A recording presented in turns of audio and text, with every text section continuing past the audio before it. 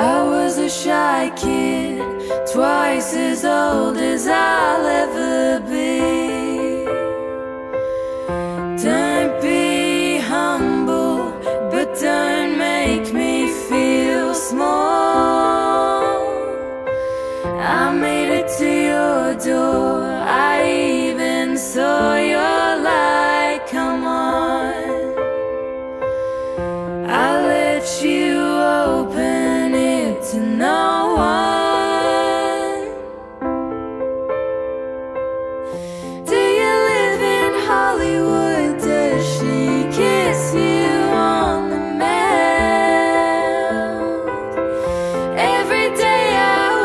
up